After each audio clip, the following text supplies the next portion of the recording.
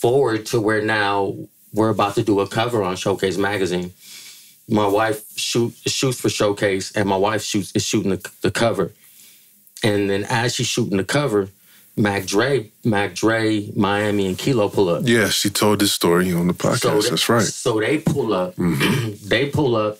I'm outside with D Ray, and and Dre's like, "Yo, G, let's let's go inside, bro. Frank inside. I want to holler about a cover, bro." He's like, "Matter of fact, don't you guys got two covers?" He goes, "I want two covers. Has anyone ever did two covers? I want back to back covers, right?" And I'm like, "Holy shit, that's like the like, like I'm just saying, like this is my first like." Real life interaction with this dude, and I'm like, oh, like the way he is, I'm like, holy shit, this is crazy. And like, I'm loving it, right? I'm like, juice. I'm a, like, I'm, I'm a Bay Area fan, bro. Like, Of course. like, let me just say that anyone listening to this, everything I've ever done, I'm a fucking fan of this shit. As, as we all are, I'm a super fan. Hell so, yeah. So we, this is so walking in, we go start hollering about Frank, hollering to Frank about the cover, and talking about two covers, and then that's when he sees the the Fab truck. The Fab truck's parked back there, and he's like, and then he sees there's a Tech N9ne truck over there. He's- Right. I remember Tech N9ne was mobbing around with the, with the truck so, out so he here had for the a minute. showcase. He had the Mhm. showcase Tech N9ne truck, and Mac Dre was like, "Hey, Cuddy, what's what's one of them? I want a Mac Dre truck. What's that thing cost? I want a Mac Dre truck. I want a cover. I want two covers." He's talking to Frank. Frank's like, "Oh shit, da da da." So I'm I'm in the office because I'm I'm ex- I'm ex- like assistant editor, right? So I'm in there just chilling, talking shit, and I'm like, "Oh shit, it's just going down, going down." And I just asked Mac Dre, like, "Dre, how come you ain't how come we ain't putting no songs to the radio right now? And he's like, um, gee, you heard my song. I'm too hard for the fucking radio. And he's laughing. I'm like, nah, serious. He's like, bro, I don't know. They don't fuck with me like that. And then I, that's when I tell him, like, bro, my brother, bro, my brother fucking up at the radio, bro. Fucking, we grew up Mac Dre fans. I would love, it would be my honor to take you up to the station, bro. Go, you know, go, just at least go meet my brother and shit. And, you know, I don't know what's popping. He's like, oh shit, let's put it together. So that was like, that was my introduction to that. As we're in the office, I'm I'm I'm pitching Fab, of course, To Dre. of course, hmm of course. I'm, like they're talking, you know, I'm talking with we already we already inked in that I'm gonna help them with the radio a little bit, right? And I'm like, I'm like, hey Dre, I got this young artist, bro. He's super dope. His name Mistah Fab, and he's like, yeah, yeah, probably so. G. He's like, man, man, I'll be honest, man. I got so many, I got so many obligations to the crest right now, G. I got so many obligations, man. He said, but man, man, if, I expand this, he goes, I'm thinking about starting some this Thizz thing. I'm this this, this Entertainment. He said, I don't know though, man. You know, I got a lot of people I got to worry about. So then that, it goes away. And we we actually hook up with Dre because B Love, we see B Love at the grill. We're recording at the grill.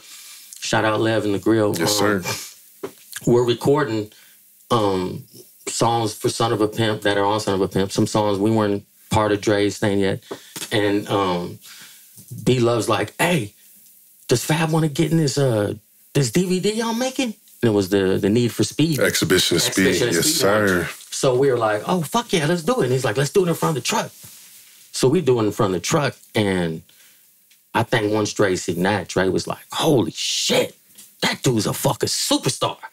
Yo, Cuddy, we need to fuck around with that. And then come to find out, like, Fab's blood cousin is Nucci.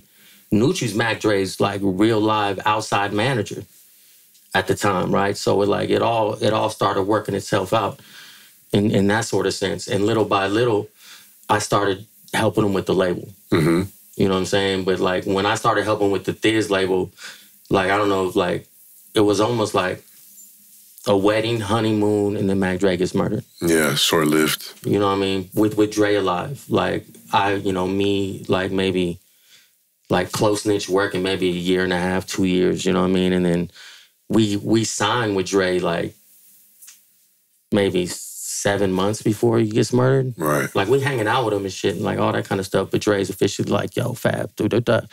And it's just so like during that time is when I'm getting close with Kilo and Miami and him and and they see the way I'm, you know, I, I move things. So I became the the label manager. I've heard it said that one of Dre's plans for this was to take over the whole Bay by having artists from every city, pretty much. That that was so the whole that's what this entertainment was gonna be. Mob figures, I heard. Mob mob figures, Fab, Um, there wasn't. There, then you got um, Heard he was interested in Fully Loaded from Frisco. fully loaded. Fully loaded. You got Johnny Cash and them, Rydah J. Klyde, obviously from the Mob Figures, but but it was it wasn't Mob Figures as a whole. Yeah. It was more like Hustler, Jacka, you know what I mean, that sort of thing. Um, Rydah was already on this. you know, Rydah exactly, and you know that's that's Little Dre. hmm That's that's that's little dude. You know what I'm saying? And um, so Dre's goal was like, yo, I think it'd be dope. His his entertainment goal was to sign someone dope from each city to represent this, to kind of share the the love he's getting. Like it was never, it was never like, oh, I'm gonna take over the Bay. Yeah. It, it was like, yo, we we got to find a way to share this attention. Well, Jacka said in um, one of his lines, if Mac Dre was here, I probably would have signed at this. and I got my own label now. I'll probably sign my niggas. Come on, come on. And that was like Dre's dream was to get everyone a million dollars. You know what I mean? He, wanted to make everyone rich off music. That that was his. Can y'all imagine how fucking crazy it would have been if that's where the Thizz movement went? And then when when, Man. when Dre passed is when it turned into Thizz Nation. Yes. And then you also had Town Business, Thizz City. So in a way, that that did come into fruition. I mean that that was Dre's plans, but when Dre when Dre got murdered, his estate, the, the things that were happening, we had to start a new company. Yeah. So that's where Thizz Nation came in, and Right. that and that's when we're like, yo, it just makes sense to let everyone have their own piece. Yeah. You know what I mean? From J. Stalin and them, to, from, you know, Frisco with Juice and them, you know what I mean? All that little fun stuff. Recognize where you got the game. We got our own style, got our own slang. Northern California is a West Coast thing. This is the history of the Bay. Recognize where you got the game. We got our own style, got our own slang. Northern California is a West Coast thing. This is the history of the Bay.